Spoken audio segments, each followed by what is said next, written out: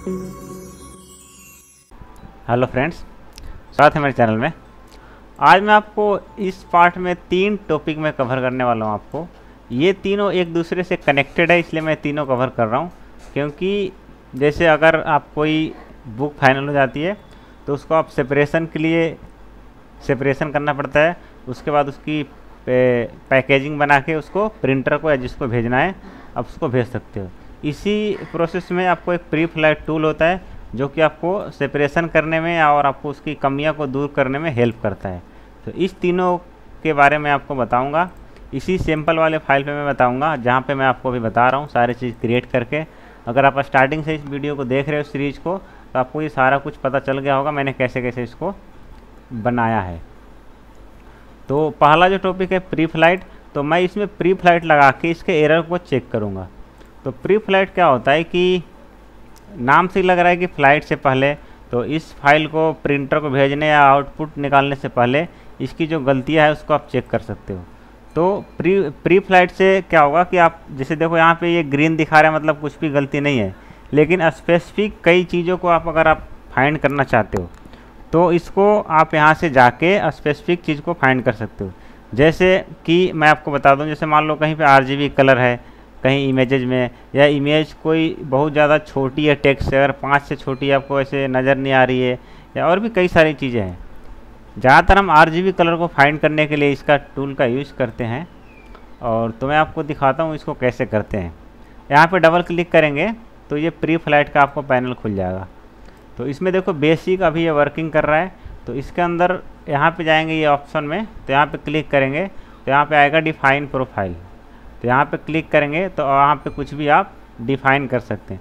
जैसे देखो यहाँ पे एक मेरे नाम से बना हुआ है कस्तूरी डिजिटल पब्लिशिंग इसमें कुछ भी आप अपने नाम से बना सकते हैं।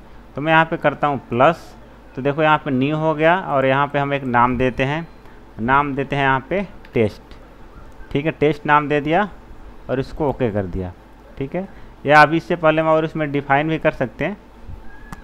जैसे डिफाइन में गया आप देखो मैं यहाँ टेस्ट वाला पे क्लिक किया। अब इसके अंदर जो है, हम बहुत सारी चीज़ों को इस पर क्लिक कर सकते हैं, जो कि हमें एरर में शो करे। अभी ग्रीन है, अगर मान लो कलर में जाते हैं तो मान लो इमेज में जाते हैं, और इमेज के अंदर इस पर क्लिक करेंगे तो इसमें बहुत सारा ऑप्शन खुल जाएगा। ठीक है?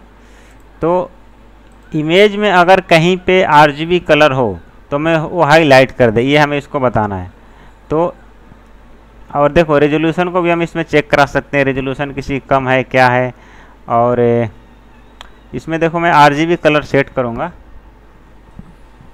कि अगर कहीं पे आरजीबी है तो ये हमें बताए। तो इमेज से नहीं, इसमें कलर में होगा ये। कलर में जाएँगे, यहाँ पे क्लिक करेंगे। तो इसमें देखो, यहाँ पे मैं क्लिक कर देता हूँ आर ठीक है? RGB अगर कहीं भी होगा तो ये हमें एरर शो कर देगा। इस पर क्लिक कर दिया, ठीक है?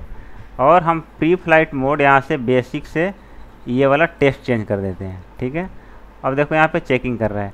ये देखो सिक्सटी फोर्टी सिक्स यहाँ पर एरर दिखा दिया कि फोर्टी सिक्स जगह पे आर कलर यहाँ पे यूज़ हुआ है। तो अब इस पर हम डबल क्लिक करेंगे तो ये जहाँ जहाँ हुआ है, ये सारा इसमें बता देगा। अब देखो कलर जो है ये देखो, श्यान, मेजेंटा, ये सब जो प्लेट में दिखा रहा है, कलर, ठीक है? ये जहाँ जहाँ आपको आरजीबी कलर यूज़ हुआ है, ये देखो, ओवर प्रिंट और इमेज इमेज जो मैंने इसमें तेरह इमेज लगाए हैं, इसके अंदर ये बोल रहा है कि कुछ कुछ इसमें है दिक्कत। तो इस तरीके से इसमें एरर बताता है।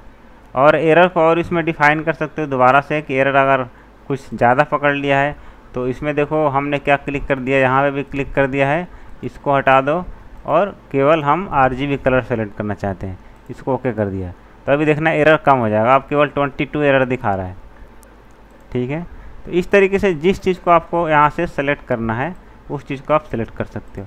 अब देखो, इस पर क्लिक करेंगे तो यहाँ पे ये, इस पर डबल क्लिक करेंगे तो ये दिखा देगा। ये जो इमेज है, ये आरजीबी कलर यूज़ हुआ है।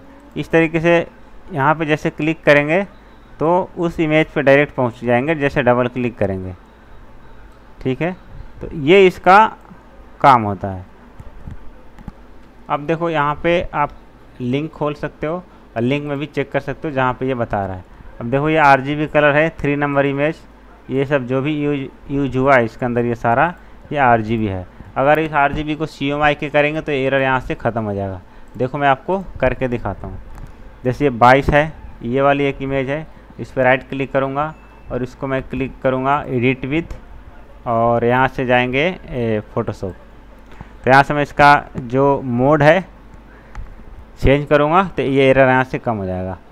तो इस काम में ये आता है। इसके अलावा भी बहुत सारा ऐसा काम है। एक और आपको एग्जांपल यहाँ पे बताऊँगा। अब मैं इसका मोड देखो चेंज करता हूँ। इमेज में जाता हूँ और मोड में जाके यहाँ पे सी एम आई कर दिया। ओके कर दिया और इसको यहाँ से बंद कर दिया। ठीक है? अब यहाँ पे आ जाते हैं इन डिज़ाइन के अंदर। तो ये देखो चेंज हो गया। ये देखो, यहाँ पे 21 हो गया। तो इस तरीके से इसका यूज़ कर सकते हो। और भी अगर कोई फॉन्ट मान लो हमने यहाँ पे ये जैसे मान लो थैंक्स है, इसका मैं फॉन्ट कर देता हूँ सिक्स ठीक है? अब गलती से मान लो ये सिक्स हो गया है, और भी कई जगह हो गया है, हमें इसको पकड़ना है कि कहाँ कहाँ पे मान लो टेन से छोटा फॉन्ट है कहाँ पे तो इसी दोबारा से इसमें क्लिक करेंगे और इस प्रोफ़ाइल में जाओगे डिफाइन प्रोफ़ाइल में टेस्ट वाले के अंदर अब नीचे आओगे और इसमें फॉन्ट देखो टेक्स्ट ये है टेक्स्ट और टेक्स्ट में जाओगे और नीचे यहाँ पे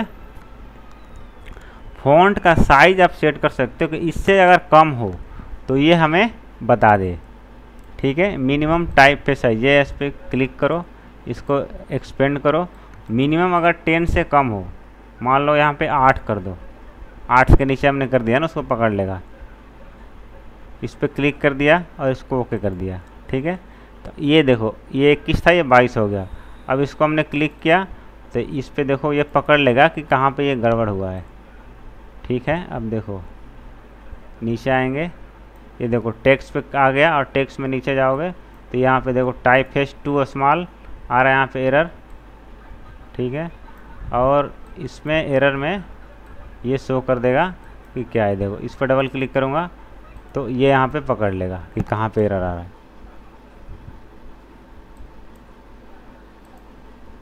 तो इस तरीके से आप इसको पकड़ सकते हो और इसको यूज़ कर सकते हो प्री फ़्लाइट को।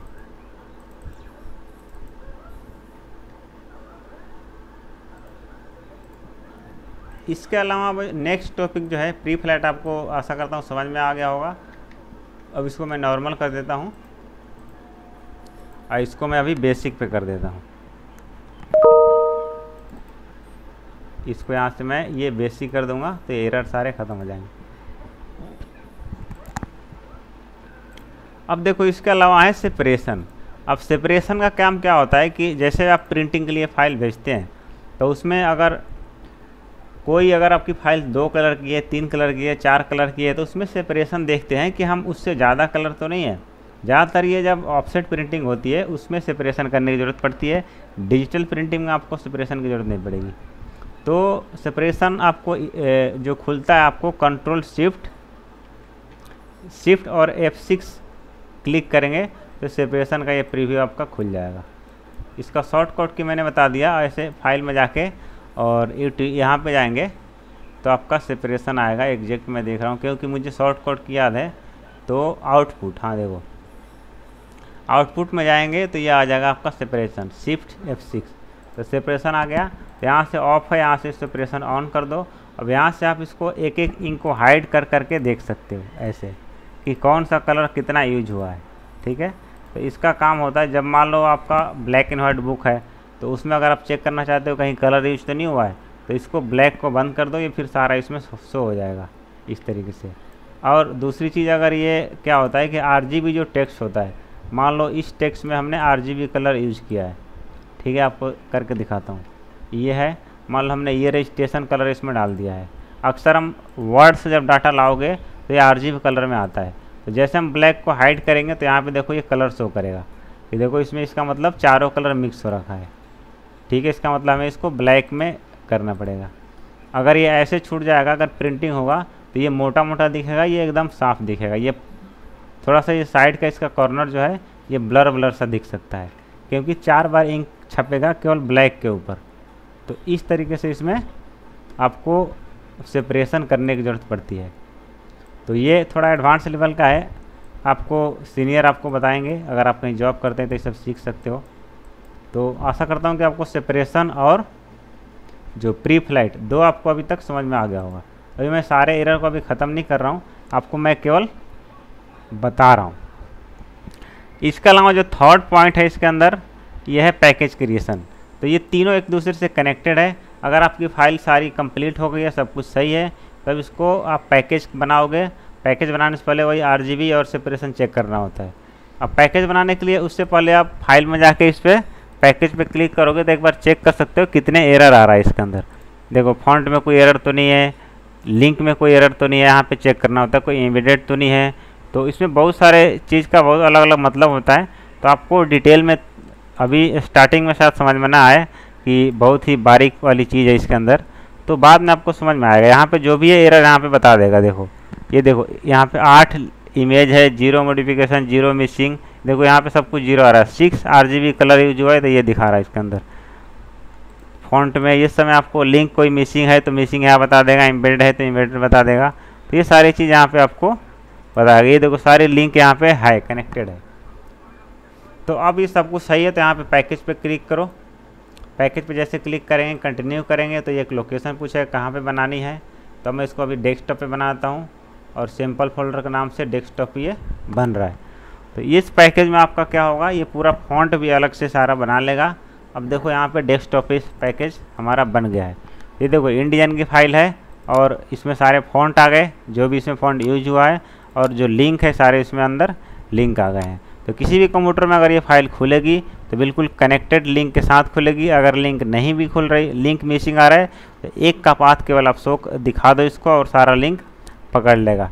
पीडीएफ इसमें इंक्लूड नहीं है। पीडीएफ आपको अलग से बना के इसमें डालना पड़ता है। तो इस तरीके से आपका सेपरेशन बन गया।